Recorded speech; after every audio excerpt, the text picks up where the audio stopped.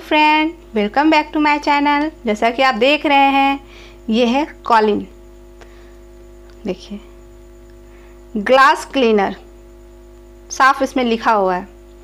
इसे हम शीशा हुआ या फिर बोर्ड हुआ, कौन सा बोर्ड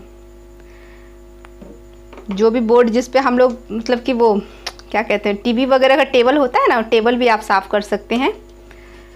टीवी का टेबल साफ़ कर सकते हैं, सनमाइका वाला, वो क्या कहते हैं, सनमाइका वगैरह साफ़ कर सकते हैं, गोदरेज साफ़ कर सकते हैं, गोदरेज में जो शीशा लगा होता है उसको साफ़ कर सकते हैं।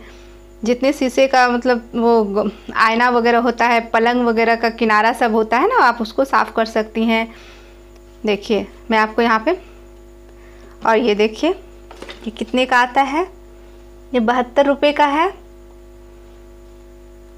हालाँकि मेरा पुराना है फ्रेंड आप नए में आप जाकर देख लीजिएगा। नए का दाम मैं नहीं बता सकती हूँ। लेकिन हाँ ये क्लीनर हमारे बहुत काम आता है। बहुत काम आता है। चश्मा वगैरह भी आप इसे साफ़ कर सकते हैं, जैसे देखिए। मैं तो इसे साफ़ करती हूँ, जैसे देखिए। ये चश्मा है। ये देखिए, इस पर दिए।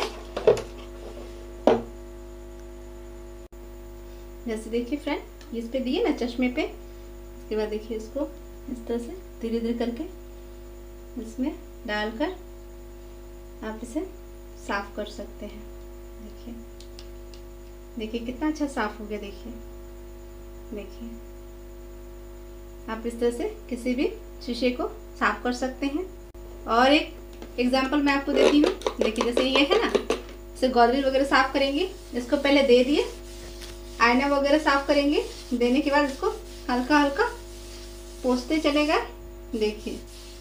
देखिए कितना साफ़ हो रहा है। देखिए।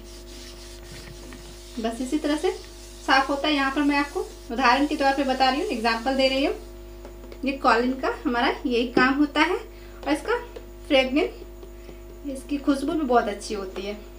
ठीक है फ्रेंड अगर मेरा ये वीडियो पसंद आए तो प्लीज़ लाइक से सब्सक्राइब ज़रूर कीजिएगा।